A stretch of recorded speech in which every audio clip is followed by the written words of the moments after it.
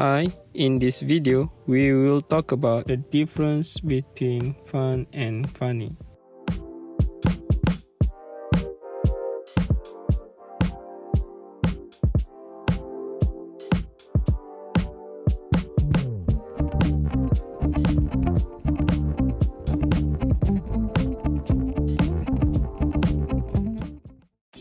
This day, I found many people always confused with it. So now, I will give you a simple explanation about the difference between fun and funny. Let's we start it. First word is fun.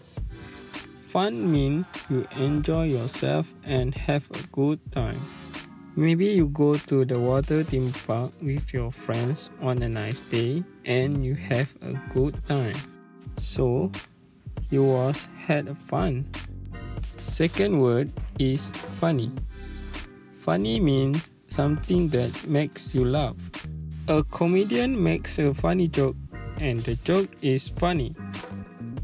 Let's keep practicing and look at some examples go to the water theme park was fun and I had a lot of fun.